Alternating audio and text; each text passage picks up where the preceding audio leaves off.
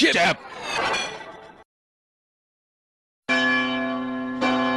Hey, Clarence, want your wings? You bet. Go save that guy. Okay.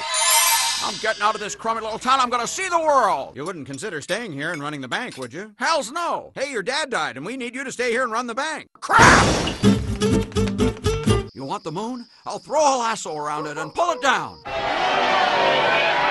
Where you two going on this here now, honeymoon? We're getting out of this crappy little town. Don't look now, but there's something funny going on over there at the bank. We want all of our money. We don't actually have all of your money here. We can use our honeymoon money.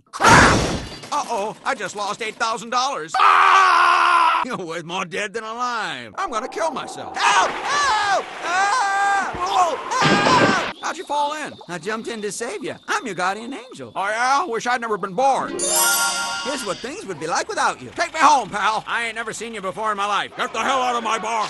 Honey, don't you know me? Who the hell are you? Your brother died. You went there to save him. Get me out of here! Yay! Hello, Bedford Falls! Merry Christmas, movie house! She did it! She told a few people you were in trouble and they went all over town collecting money. To my big brother, the richest man in town. Look, Daddy, every time a bell rings, an angel gets his wings. That a boy, Clarence.